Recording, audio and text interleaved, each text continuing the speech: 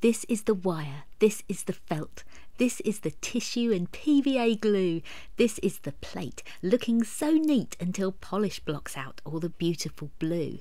This is the ink, and this is the brush, which scratches down into each possible nook. This is the paper, and seeing the print, you know it was worth all the time that it took.